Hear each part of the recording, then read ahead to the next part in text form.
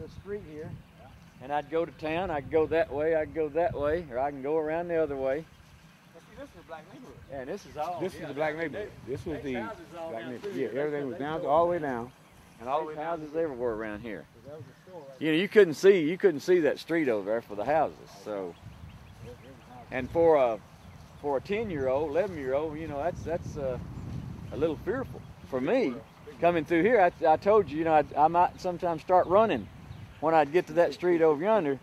I'd run to town, you know. And Bill will tell you the same way. When he got We- to town, came he'd run over here. Yeah, they're trying to get trying to get to either like the pool room or to the restaurant where I could stop and rest, and then you sprinted on over in here. And then once you got here, you were safe. You know, this is this was home then.